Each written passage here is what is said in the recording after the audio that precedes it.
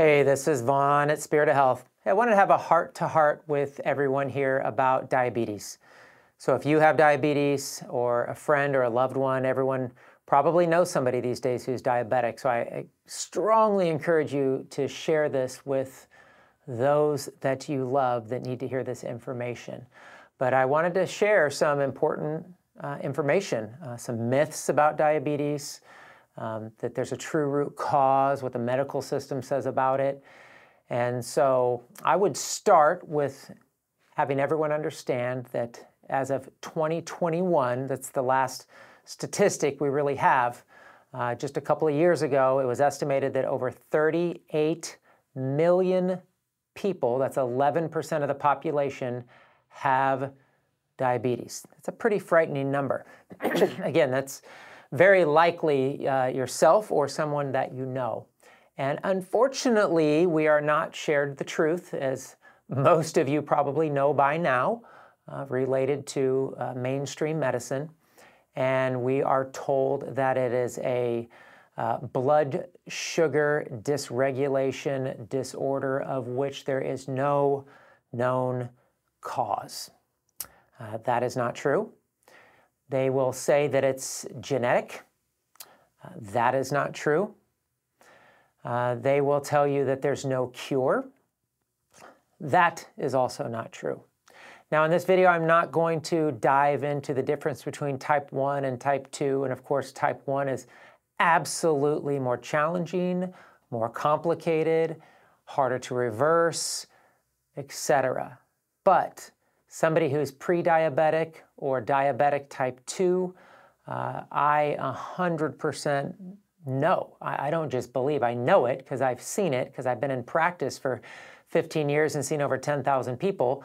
I've seen lots of people reverse diabetes, and you do not have to be a statistic or live by a label or a diagnosis or believe the things that they tell you.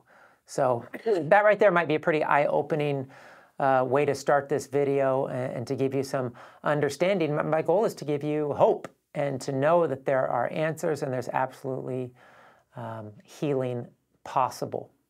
And I've seen it happen dramatically quick um, in as little as a month.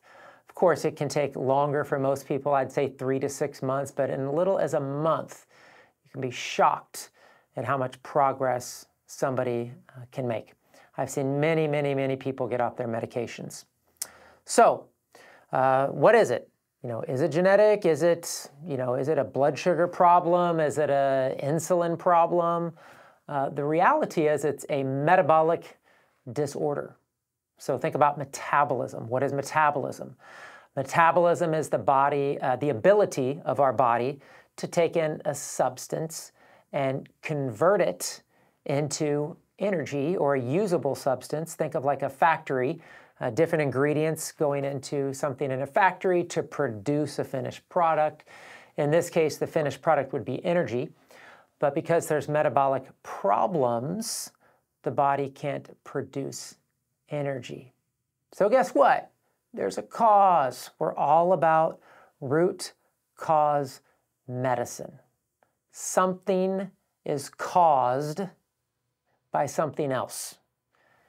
It's there's it's a little bit so genetic is kind of the excuse um, a lot of doctors use or the medical system use because they don't really understand root cause medicine or believe in cause and effect, which uh, to me seems a little odd that we wouldn't believe in cause and effect, that we could believe it's just random or uh, completely misunderstood, or again, uh, genetic is a way to say that there's a cause, but again, still nothing we can do about it, and it leaves you kind of feeling hopeless. But there's absolutely a, a cause.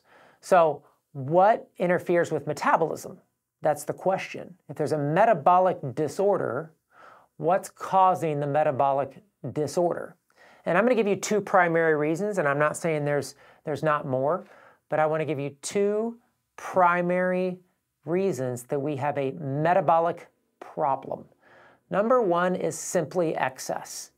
And what I mean by that is, is an absolute reality that we eat the wrong foods, we eat too much food, we eat too much of the wrong foods, uh, etc. And so your body is amazingly designed by God to be a very efficient system or an efficient factory. And if you overwhelm it, just like if you overwhelm anything, if you put too much trash in your trash can, if you put too much stuff down the garbage disposal too fast, if you put too much things into a factory that's the wrong ingredients, you are going to have failure. You're going to have problems.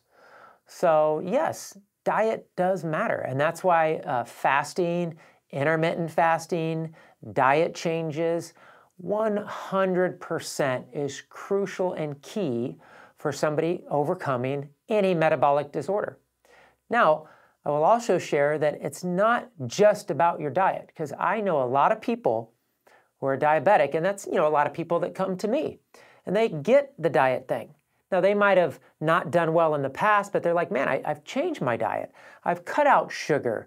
I've cut out a lot of you know grains or carbs or some of these things, and I'm still struggling. I'm still having uh, a blood sugar problem, a metabolic problem, and I can't seem to get over the hump. Or so this goes back to root cause medicine. Reason number two. So again, number one is just excess. We are eating too much and too much of the wrong things. You're overburdening your system and you're keeping it from uh, having the ability to properly process things because it's excessive. But two is toxins, poisons. We live in a world we're absolutely toxic. Our bodies are poisoned. And so, what interferes with metabolism? Well, a whole lot of things interfere with metabolism. I'll tell you, the number one thing I see clinically is infectious disease. So, people have candida, yeast, fungus, mold, clostridia, and other bacteria, parasites, Lyme disease, viruses. I believe viruses are the main trigger that cause type 1 diabetes. I had a, uh, a young man who had type 1 diabetes. I immediately tested him and found parvovirus at extremely high levels. Looked it up in, in, the, in the studies. It's on PubMed, it's researched, it's known that viral conditions can trigger autoimmune like type 1 diabetes. So there's a cause, and it's often infectious.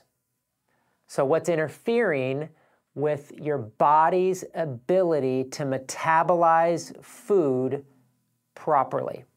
So, if we can work on eliminating the excess, changing the diet, lessening the, the amount of food we eat, lessening the amount of meals we eat, like with intermittent fasting, and we can remove the infectious disease organisms or other toxins, herbicides, pesticides, metals, other things can interfere, but I will say from experience, the primary issue people have diabetes and can't get rid of it is infectious disease organisms and if it helps, I just want to explain it a little bit deeper so that you're not. Anyway, I, I just think knowledge is power. And I think if you understand this, maybe it'll make sense. So you eat food, sugar, and your body should convert it into energy or fuel or ATP at the cellular level. If you have those things I mentioned, bacteria, candida, yeast, fungus, mold, etc., that sugar or starch or carb that you eat now becomes food for that infectious disease organism. The body cannot convert it into energy or fuel. The body converts it to lactic acid, and people develop lactic acidosis. That acid deposits in the joints and causes degenerative disease. That's what leads to the kidney failure and the neuropathy and the retinopathy and all of the horrible things associated with the progression of an illness such as diabetes because there's a buildup of acid waste in the body. And if you study medical literature in the early 1900s, you will find that all universities in medicine taught lactic acidosis as the main cause of degenerative disease. Diabetics are at the highest risk of what? Heart disease. Why? Lactic acidosis. So, repeating, you eat sugar, starches, and carbs.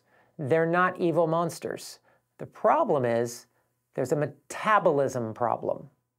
The problem is, is you have infectious disease organisms consuming those carbs, replicating, producing toxic waste because metabolism's not working or very inefficient and the body can't handle the excess sugar, it converts it into lactic acid that it stores in the body and the joints, in the tissues and the organs, starting this process of degenerative disease. So, how do you heal it? How do you reverse it? Well, there's multiple factors. You have to reverse lactic acidosis. You have to get the acids out of your body. We have to clear any toxins or poisons or infectious disease organisms from your body. We have to change our diet. And I know sometimes that is challenging, but it is crucial and it works. And there are products that can help, there's therapies that can help, there's all kinds of natural things that can help. But of course, we know what the medical system is going to offer you is maintenance. It's disease maintenance. It doesn't help and, and, and reverse anything. It might make your blood work numbers look better, but guess what? The disease process continues.